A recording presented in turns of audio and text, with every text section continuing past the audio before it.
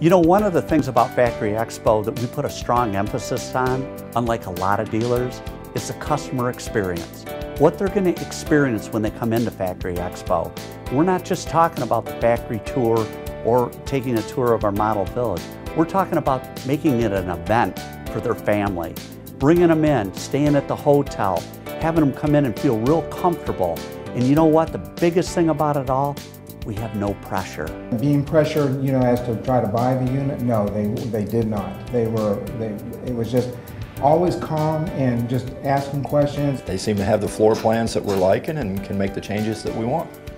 Well, and they've been very friendly, and the communication has been wonderful. Made us want to find out more information from them. So it was a combination of their website providing information and the people that we talked to once we called in. You know, one of the things that we feel is really critical to make an informed buying decision is to come to the factory.